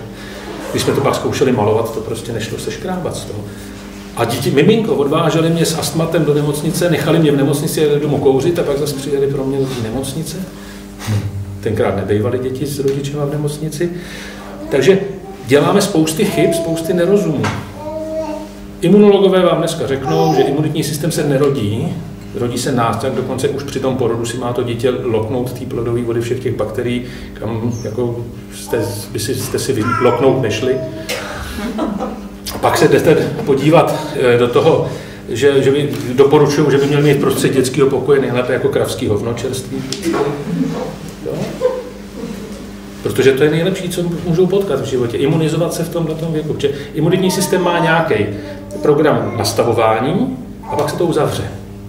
A podle toho, s čím se setkal, vůči čemu se vymezil, tím pak funguje. To víte u těch dětských nemocí, že nemůžete dostat třeba po druhý potom už. Jo? Když se odbydete v tom dětství, tak je velká pravděpodobnost, že už vás nikdy nezaskočí.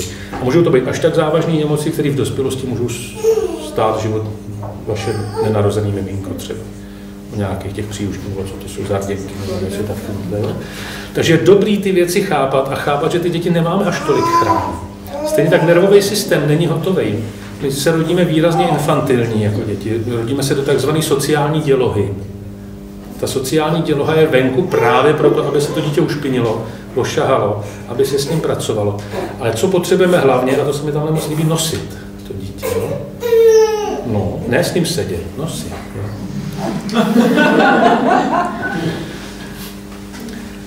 Ten kontakt je důležitý. Vzniká totiž něco, čemu se říká vazba, eh, cizím slovem attachment.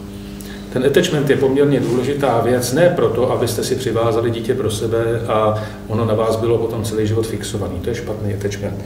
Attachment je proto, aby si to dítě vytvořilo svoji vlastní osobnost, svůj vlastní, eh, svůj, eh, jak se tomu říká, své vlastní vědomí sebe a nemuselo si vytvářet to falešné sebevědomí, který pak před sebou tlačíme všichni a tvrdíme, že jsme nezranitelní a zatím se třeseme strachem. Takže to dítě potřebuje být nošený, protože my jsme fyziologicky, to zase vrátím se do toho paleolitu, nejsme hnízdiči, jsme nosiči. Vaše dítě vám to dá jasně navědět. Jak rádi chodí malí děti na túry, když jdete? Co, co začnou říkat? Nošit, nošit. Bříško bolí, hlavička bolí, nožičky bolí, všechno bolí. Jo? A tak je vemete a těch 8 kilometrů je uvláčíte na tu první louku, kde sebou praštíte. A co udělá vaše dítě? Bolí ho něco? Nic, protože přesně takhle je naprogramovaný. Když se tlupa přesouvá, tak mládež zdržuje, když jde. To znamená, ono spí. Většinou je unavený, takže ho jo, nesete mládě vypne. Jakmile s ním jdete na louku, sednete si, je to signál, teď se jdi učit, jdi si hrát, vyběhni mezi mláďata. My jim tam žádný mláďata nedáme, tak potřebují nás na tu dobu. Jo? Takže tohle je zase program, který jasně v tom dítěti ukazuje, co děláme špatně v těch, těch věcech. Turistika s malýma dětma, utrpení. Pro vás i pro dítě. Jo? Pokud nejste rádi, že něco nosíte těžký, že to je jako se zátěž. Jindy vám to dají najevo, když je potřebujete uspat. Jak uspali, usnuli byste dobře, kdyby s váma někdo cloumal v kočárku takhle? Jak by se vám spalo? Drncal s váma pokud potom? Moc ne. A jak uspáváte své děti? Úplně tímhle způsobem, jo? Spousta dětí houpat, houpačky, kolíbačky, všechno. To nehoupím, nemůžu špatně, může, jo? Dospělosti. Děti ne. Zase, simuluje to přesně tu situaci pohybu té matky s dítětem v náručí. Je to houpavý pohyb. Nějakým způsobem to drncá. Jo? Takže když se pohybuje, pohybuje tímhle způsobem dítě, vnitřně mu organismus říká, vypínej, spí, stejně nic zajímavého nebude. Jo? V autě usínají děti, to se pohybuje, kouknou ven, eh, spí. Víte,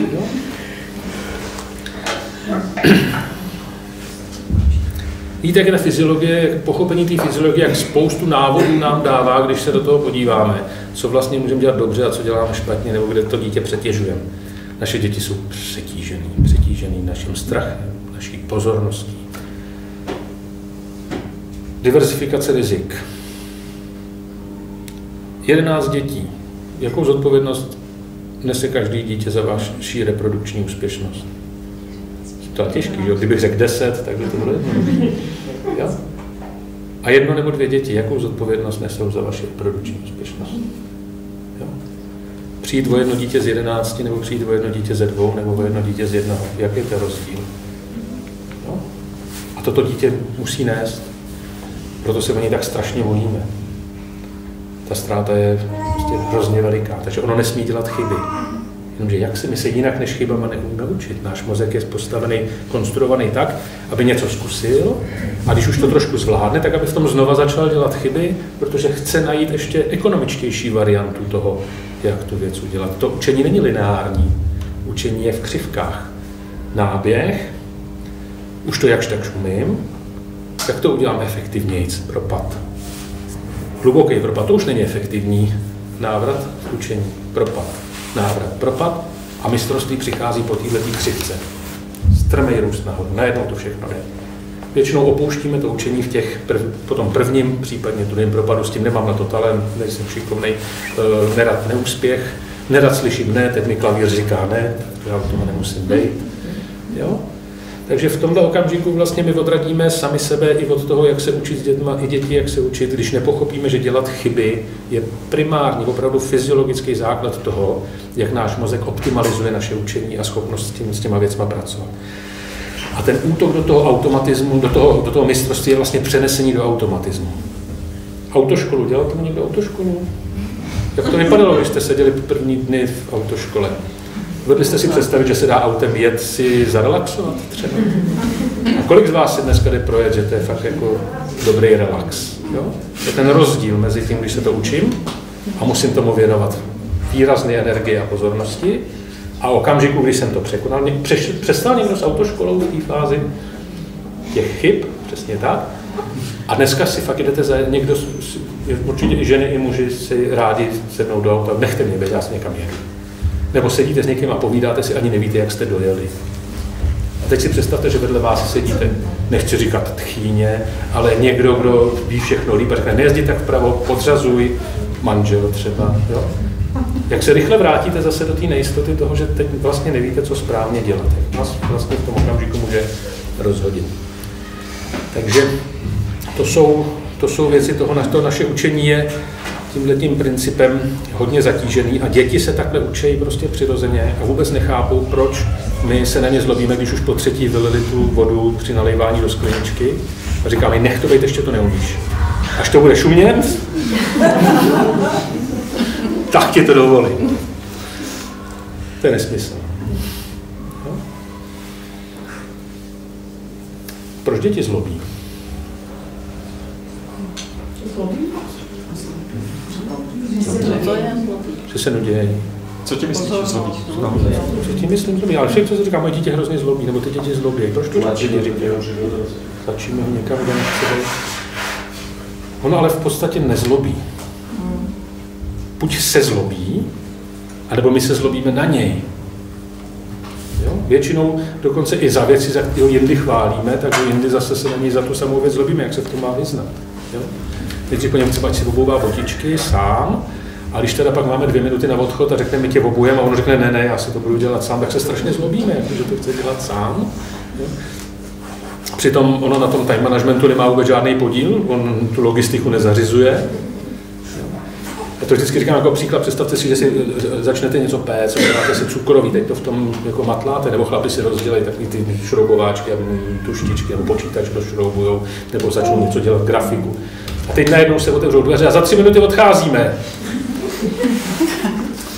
To je šok, jo? Ty ruce v tom těstě, nebo ten šroubovák v tom, tom. Za tři minuty odcházíme. Jak odcházíme? Proč odcházíme? Kdo odcházíme? Já to vlastně ani neslyším, co se děje. Máme neteř, která maminka, víc dětí, čtyři děti, tak aspoň se pokusili. Vánoční akce, maminka třikrát přišla, budeme, odcházíme, prosím tě. My jsme říkali, to už bylo 16 nebo první, z 15, mě cepujou ještě, to je přesně ten případ. Říkáme, už bys měla jít? Říká, proč? No maminka už tady třikrát říkala, že odchází, to říká, ještě nekřičela. situaci. Jo, zkušenost. My jsme naivně mysleli, že to něco znamená. Ne, ještě nekřičel, ještě nebyl pokyn. Třikrát nám oznamovala, že se asi někdy bude odcházet. Aby jsme nezapomněli, že tady nebydlíme, nebo já nevím, něco v tom duchu. Takže děti nezlobí, většinou se zlobíme na ně my, anebo se zlobí oni na nás, nebo na něco, jo? ale primárně nezlobí. Děti si mnohdy to, čemu říkáme zlobění, si říkají o pozornost. Proč si říkají o pozornost zrovna tak, že nás to rozlobí? Co myslíte? Funguje to. A proč mají žádnou? Že když se hezky hrajou, tak my říkáme, že hlavně nerušte. jo, oni jsou hodní, už nikdo tam nechoďte, je to vzácná chvíle ať je nevyrušíme. Takže když je dítě hodný, tak je za chvíli sociálně vyloučený. Tak aspoň furt maluje stejného koníčka, chodí se zeptat maminka, je pořád ten koníček hezký? Jo, je moc hezký. Když ti bylo pět, tak to bylo zajímavější, než když je ti 15, ale furt je hezký. Pořád ho umíš hezky namalovat. Takže ty děti si pak začnou říkat o pozornost tím, že si ji kupujou, začnou vyrábět nějaké věci, dělat něco a chtějí ocenění. Jsou ty hodní děti, co nás zlobí tím, že už po nás chtějí a nebo tím, že nás kopnou do kotníku třeba, nebo něco vylejou, nebo něco rozbijou. Takže to je, když záměrně si říkají o pozornost. A teď si představte situaci. Zkuste se to vážně vžít, já ji mám rád, vždycky, když ji vyprávím, tak je to. Představte si, že jste se starším dítětem dopsali úkoly na kuchyňském stole, předtím jste vyprala, vyžehlila prádlo, žehlení, že to je hezký, vyžehlený, vyrovnaný, všechno v koši to tam stojí, vy něco děláte, protože musí být večeře a vaše čtyřletý dítě nebo tři a půl letý je na židli a teď vidíte, jak nalejvá mléko takhle do té skleničky a na ten stůl a na ten úkol a teď to teče do toho prádla dolů. A vy teď tak periferně to vidíte, říkáte si, ne, nechci žít, nebo něco Co si říkáte? No většinou to agresivně, velmi silně přeneseme na to dítě. Co to děláš? Podívej se, ty nemáš rozum. Jo? Ale kdo se řadil ty věci do tohohle toho pořadí? Kdo tam nechal domácí úkol, prádlo, mlíko a tři a půl letý dítě samo? Jo? Kdo dal ten prostor? To dítě? Ne. A co dělalo to dítě? Učilo se, chtělo nám udělat radost, chtělo být samostatný, chtělo se stát dospělým, aby konečně mělo tu matku z krku jo, a nemuselo si o všechno říkat, takže šlo se učit nalejvat si mlíko. Kdyby se mu to povedlo, tak nám takhle zatrne a řekne šikovný, šikovný, ale příště to tam nemůžu, ne, nebudu nechat. Ale takhle si to udělalo samo, bylo aktivní. Našlo se, nenudilo se. Našlo si zábavu. Neotravovalo nás. Jo? Neříkalo si o pozornost. Bylo kreativní, aktivní, sympatické, nebálo se neúspěchu, šlo v progresi, velmi rádo se učilo. Takže teď ho dost seřvem, aby jsme mu pak řekli, jak to, že nemáš tyhle vlastnosti? Kde se v tobě, prosím tě, ztratili nebo jak to, že jsi je nevybudoval?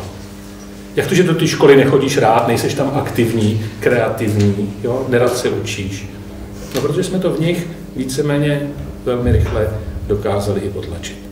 Takže zase si nemůžeme těm dětem divit, že když jim děláme z tohohle toho, že vlastní chyby přenášíme na ně, že oni teda v podstatě na některé věci musí rezignovat. Přesně tak. Já bych to neřekl líp. Tohle bylo dobře vyjádřeno.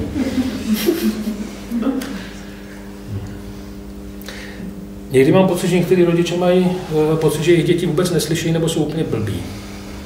Oni sedí a mluví o něm, ve velmi negativních nebo divných konotacích nebo o sobě, o vztahu. To dítě tam sedí, to musí, kdyby takhle mluvil někdo o mně v mý blízkosti a nepřizval mě do toho dialogu, jo, tak bychom se necítili asi úplně dobře.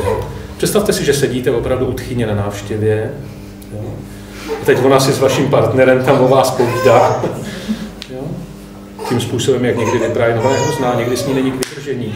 Já potřeba, něco potřebuju a ona to úplně bojkotuje jo, a máme, máme si pospíšit a na dělá věci.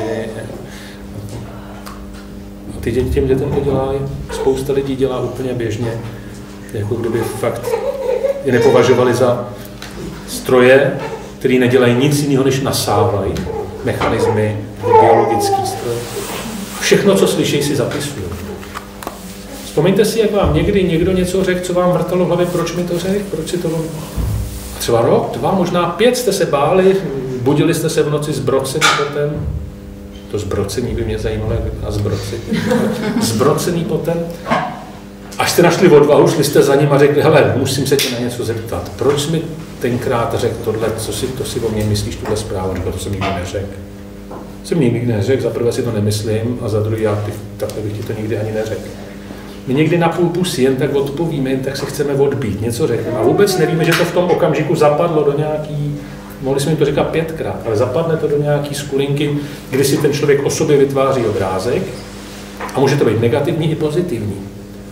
Možná jste si někdy všimli, jak pro vás bylo těžké, když vám od malička říkali, že jste hezká holčička nebo hezký chlapeček a pak vám nějaký dal košem. Jak může dát hezký holčičce košem? Tak to musím být, když jsem hezká, tak musím být to úplně blbá nebo nesmyslitelná. A nebo nejsem hezká, ale pak mi lhali. A v čem ještě mi lhali? Jsou vůbec moji rodiče? No? Nejsou to Martění? Takže vlastně i taková věc, kdy to dítě ubezpečuje. Třeba dítě ti říkat, ty jsi chytrej, ty jsi to hezký, že jsi to takhle vyřešil. Řeknete mu, že je chytrej.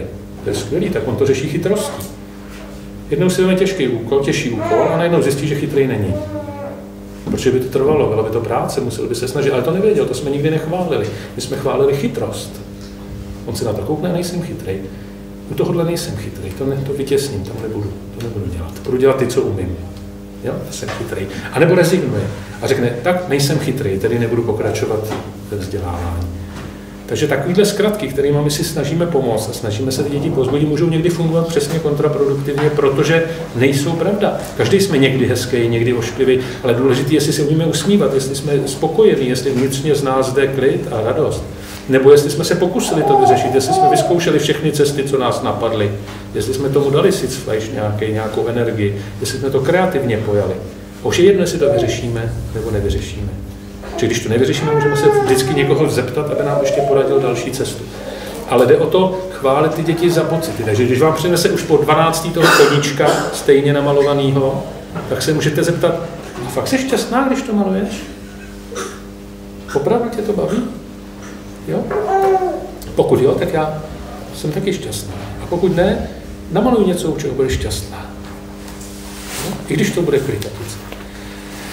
Měli jsme rodinu pěstounskou, která přijala sourozence, dva jakž takž tam zapadli, ale to nejmladší, nebo ten prostřední holčička vůbec. A najednou šprajc, hrozný křičení, ospod poradil, že teda na to bude nejlepší hospitalizace měsíc na psychiatrii, že tam přijdou na to, co jí je.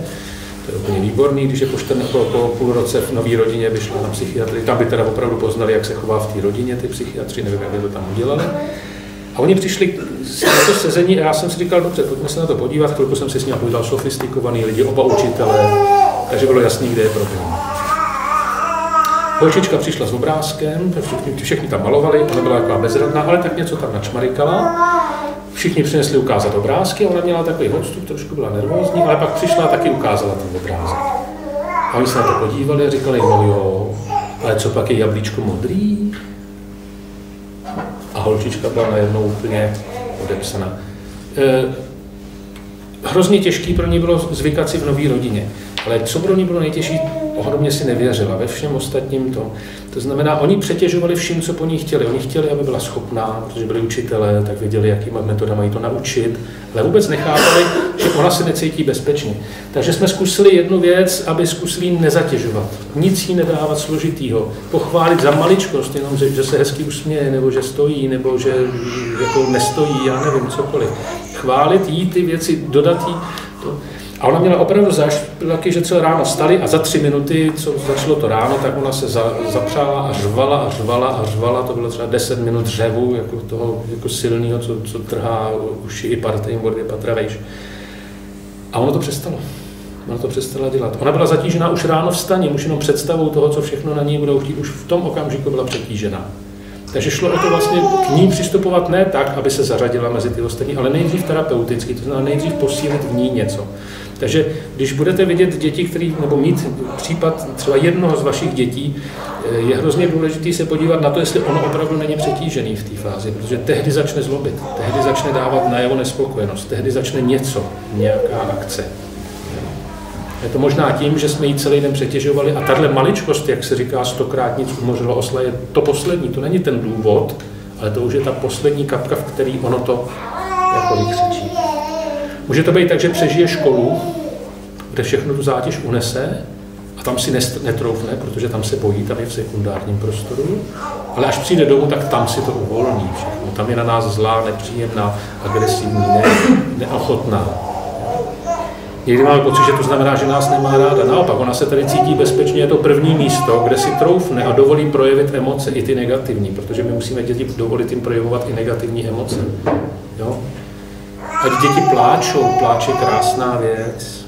Jo? Chlapi plačte, jo? Oni nám to zakazovali, že chlapi nepláčou, ne. Slabí chlapi nepláčou. Podívejte se na mistrovství světa v rugby.